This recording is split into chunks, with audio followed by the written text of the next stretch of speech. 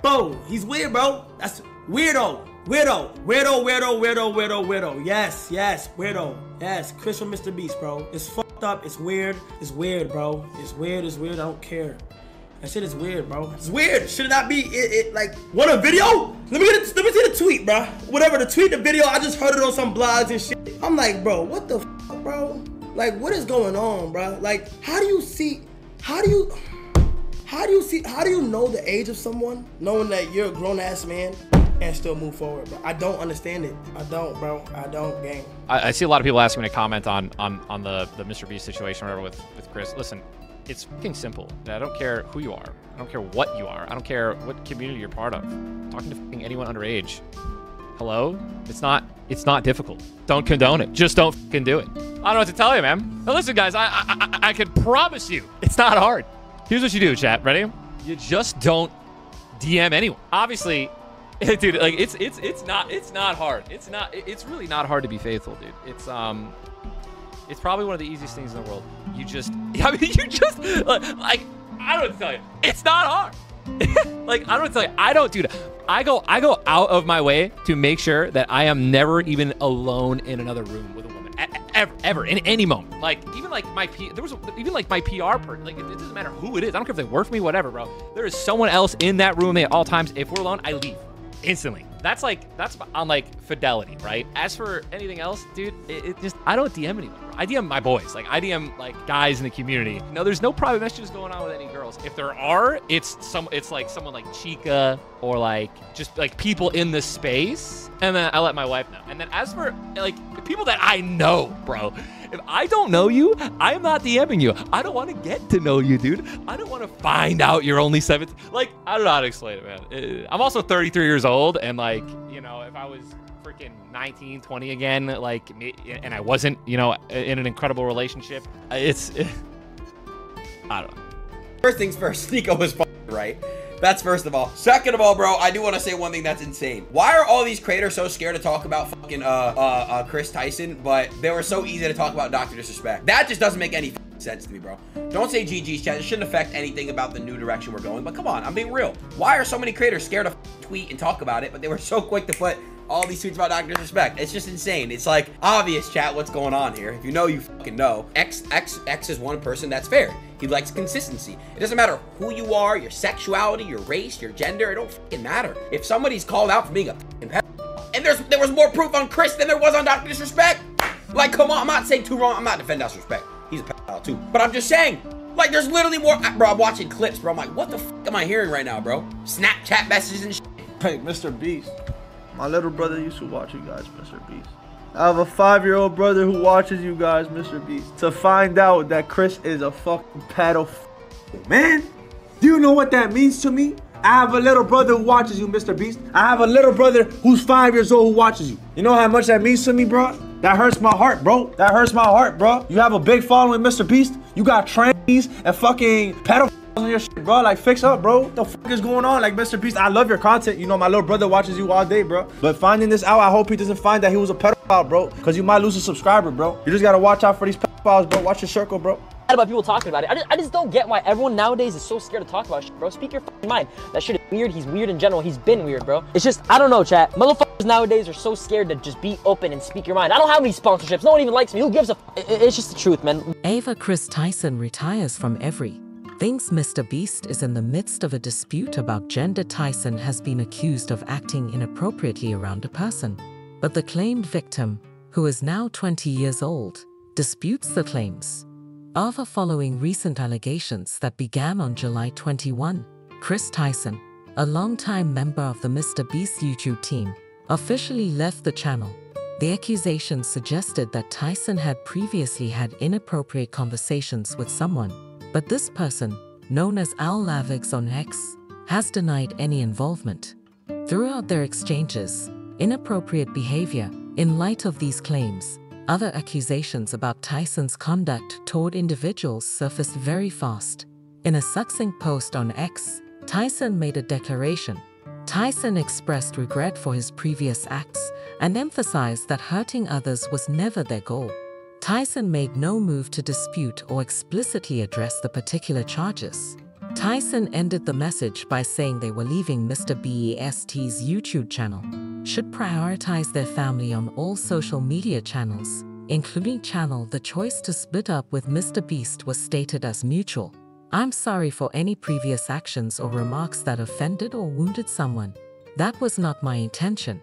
Tyson added, in light of recent events, we have mutually determined that it is appropriate for me to take a permanent hiatus from social media and everything, Mr. Beast, in order to prioritize my family and mental health at this time.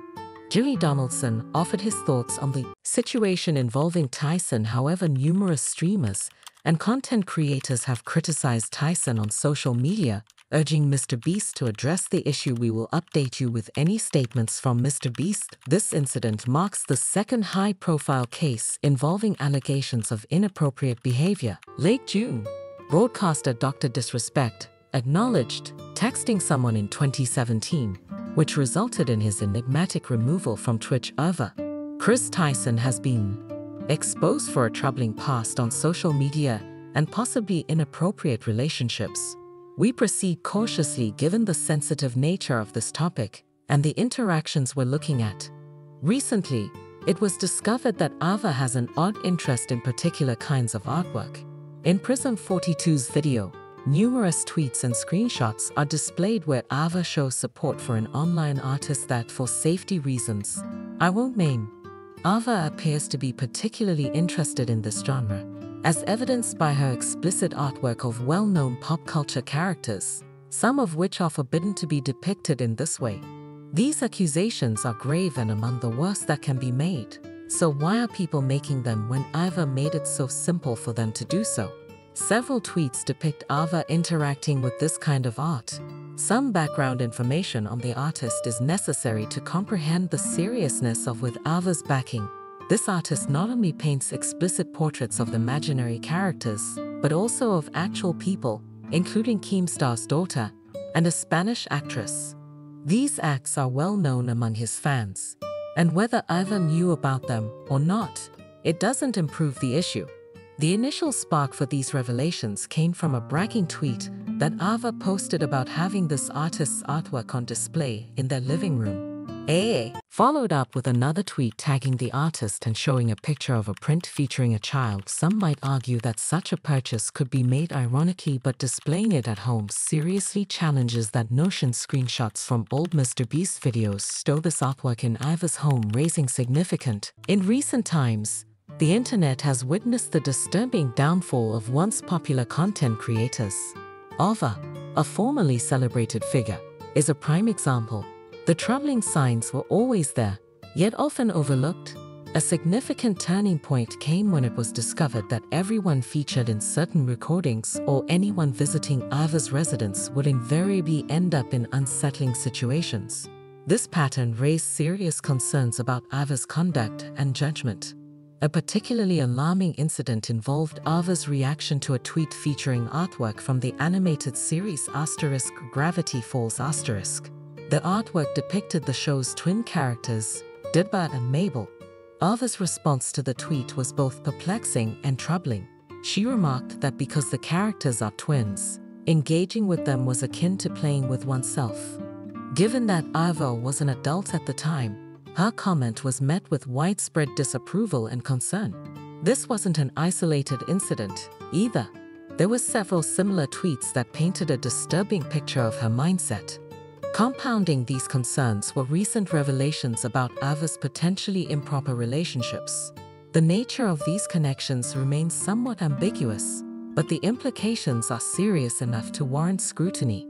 This latest revelation is yet another indication of a pattern of troubling behavior that has become increasingly difficult to ignore. In considering these recurrent incidents, it becomes clear that what was once easily dismissed as exaggeration is now backed by undeniable evidence. The digital age has brought with it an era of accountability. The evidence against Ava and others like her is often so compelling that it leaves little room for doubt. This shift towards greater transparency and accountability is perhaps a sign that we are finally beginning to cleanse our digital spaces of bad actors.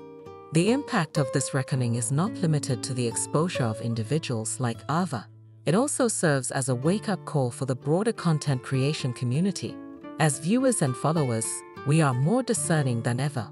We demand authenticity and respect from the creators we support. The rise of genuine and respectful content creators is a testament to this evolving dynamic.